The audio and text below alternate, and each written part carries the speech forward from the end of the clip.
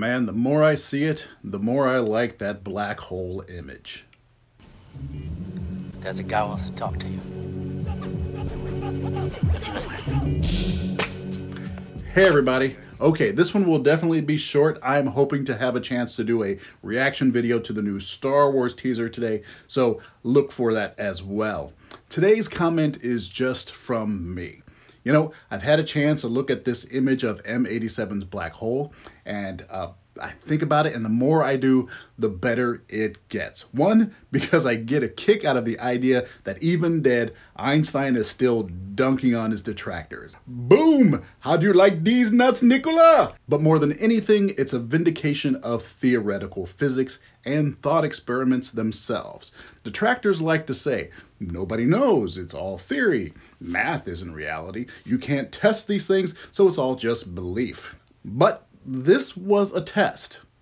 Einstein and people before him, all the way up to the team led by 29 year old Katie Bouman, sat down and thought. They thought. And they used math and they developed ideas and they did more math and they discarded ideas. And through that process, they said, these things should exist. They should have these properties and they would look something like this. And if we look here, we should find it. And if we do these things, we should be able to see it. That's just theory. That's not reality, people said. Scientists said, hey, that object right there, that's what we're talking about. Let's look at it and see if we're right. Boom. Just a theory became reality. Look at that thing. Don't you science deniers ever get tired of being wrong? I'm reminded uh, that we've been through this before, but at the opposite end of the scale. Anybody who's taken chemistry, and even those who haven't, have seen the diagrams of molecules, right? With the atoms and the little patterns with the bonds between them. And I remember as a little kid asking, how do they know this is what they look like? And teachers would say, they did the math. They figured out what the atoms were through experiments, and then they used math to figure out what positions things should be in. And the young me would think, really?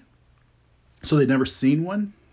Well, they're too small, they would say. The young skeptic that I was would say. But technology got better, and eventually we got to the point where we could get images of molecules, and damn, they were right. Generations before the technology existed to see these structures, people sat down and thought about it, did the math, and figured it out.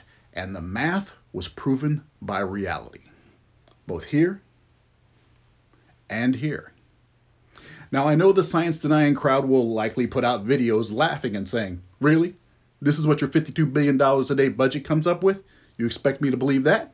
But they do that because they have no science on their side. So they have no other choice but to denigrate that which they cannot achieve themselves. Now, I know the science deniers don't have the kind of money that NASA and these other research facilities have to do these big projects, but they don't need that type of money. Hell, you've got people making $10,000 challenges, and for 10,000 you can get a damn good telescope with much better optics than a P1000.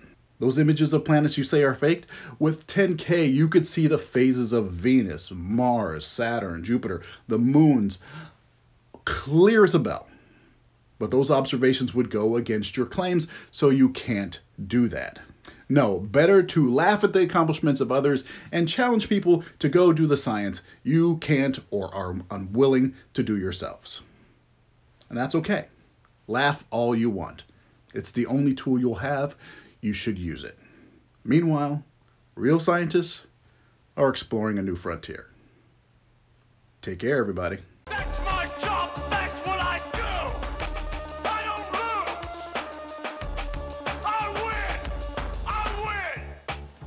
No one on this planet to even challenge me. Maybe you came by to congratulate